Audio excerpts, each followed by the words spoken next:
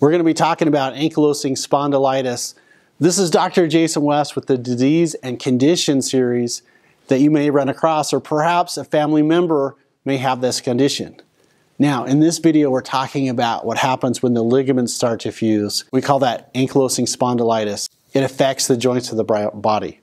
It's primarily in the spine, and it can cause a condition where it literally looks like a bamboo spine. The ligaments on the front and the sides fuse and you become inflexible. It can also cause pain in the sacroiliac joints, but it also can be really important in your overall health and your body mechanics and body function.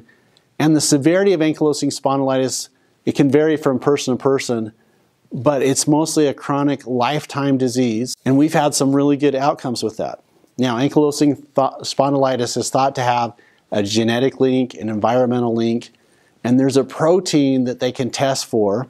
It's called HLA 27, that the genetic marker for this ankylosing spondylitis, it's found in about 90% of the Caucasian population with ankylosing spondylitis. Now, the percentage of ankylosing spondylitis is different based upon ethnicity, and there's some susceptible developments in AS as they have that marker. Now, the history and the family of AS is frequently gastrointestinal infections are a risk factor. And that being said, the presence of this HLA protein does not necessarily mean that you will develop it, but it is an important risk factor and marker.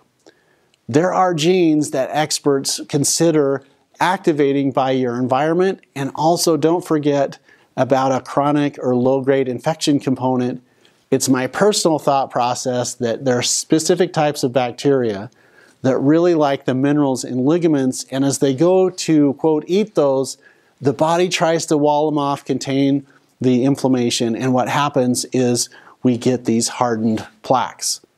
And so I believe there's an enormous infection component in ankylosing spondylitis. And again, it's not just me saying it, we have some really good outcomes. And one of the reasons why we do that is we just want to balance everything out. We want to balance uh, proteins and how you're getting the right things into your body. We want to make sure the immune system's working, the hormones are balanced, and don't forget food sensitivities. So many times, chronic inflammatory arthritis, like this condition, can be triggered by an overreaction to things that are in foods called phenols. And so we have this inflammatory reaction. It's just not good for the body all the way around. And it could be a low grade infection from staph or strep. I believe Lyme disease can be an important component. I also believe that it can be viral triggered. So the way to help this is really to turn on your immune system and get it to work appropriately. And so I like using vitamin C. I like a universal softener called dimethyl sulfoxide or DMSO.